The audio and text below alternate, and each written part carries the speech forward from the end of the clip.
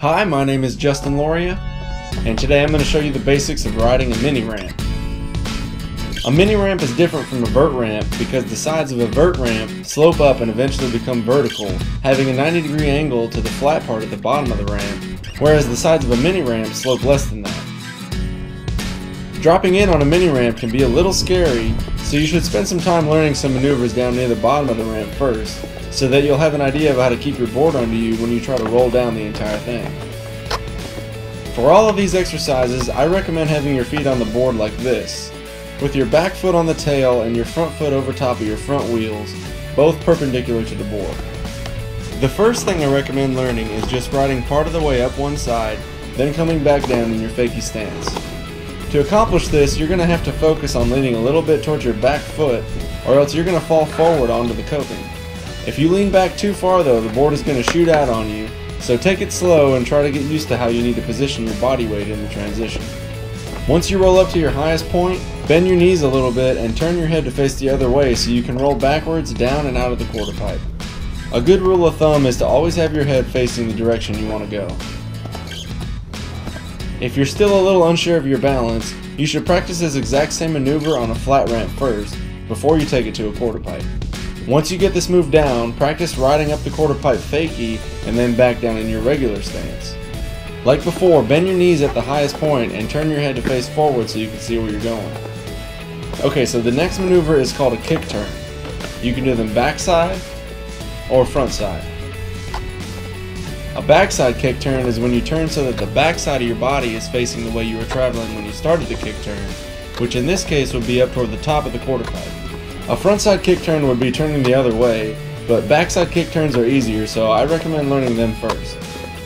To do a backside kick turn, you're going to ride straight up the ramp and just before you reach the highest point, turn your head to look down at the bottom of the ramp. Then rotate your shoulders, lift up your front wheels, and allow your feet and board to turn to align themselves with your shoulders.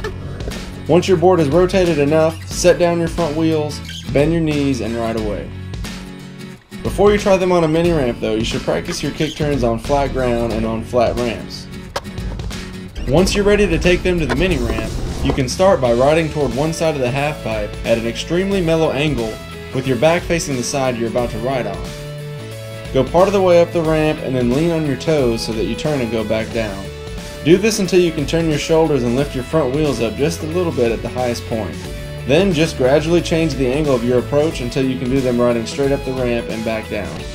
Frontside kick turns are more difficult because you're turning so that your head is facing away from the bottom of the ramp, making it hard to judge how far to turn and how to position your body weight. That means you'll have to turn your head as much as possible and force your shoulders to rotate past what feels comfortable so that your feet and board will turn enough to ride back down the ramp. You should practice frontside kick turns the same way as backside kick turns, starting out riding almost sideways on the ramp and gradually increasing your approach angle to straight up the quarter pipe. Now you're ready to learn how to pump. Pumping is a way for you to maintain and even increase your momentum while you're riding back and forth on a mini ramp without having to take your back foot off to push. You can watch this video for an in-depth explanation of how to pump and why it works, but I'll show you the basics again here. To pump on a mini ramp, you want to bend your knees when you're on the flat ground at the bottom of the ramp, and then stand up straight as you enter the uphill part.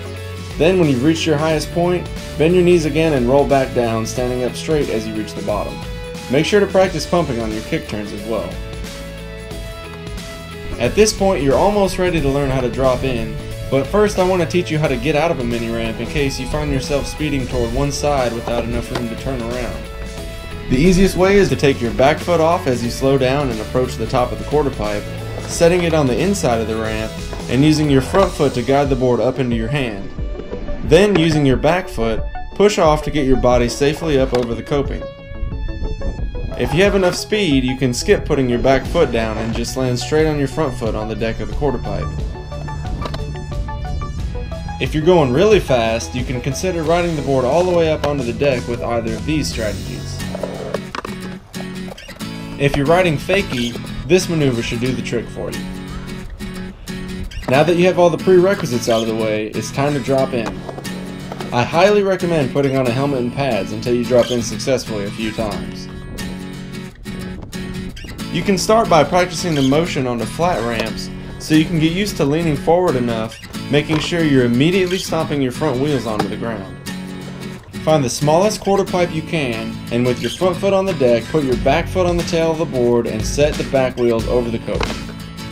In one smooth motion, without hesitating, place your front foot on top of your front wheels and lean forward, focusing on getting your front wheels to touch down on the ramp. One of the biggest issues people have with dropping in is getting up to the top of the quarter pipe and staring down at the bottom of the ramp for too long, psyching themselves out and ultimately resulting in them giving up on dropping in. So once you decide that you're going to do it, you have to get up there, get in position, and just go for it. The other issue people have is that when they actually do try to drop in, they get scared as they start to accelerate and try to slow themselves down by leaning back.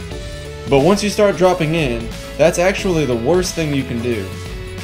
If you don't lean forward enough, your board is going to do a wheelie and then shoot out from underneath you, putting you in the dangerous position of falling backwards and hitting either your back or your head on the coping.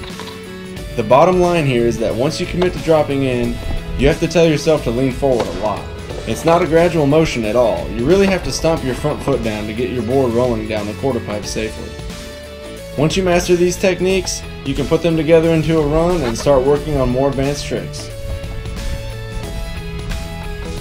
Be sure to leave any questions you might have in the comments, like and subscribe for more skate tutorial videos, and as always, remember to have fun.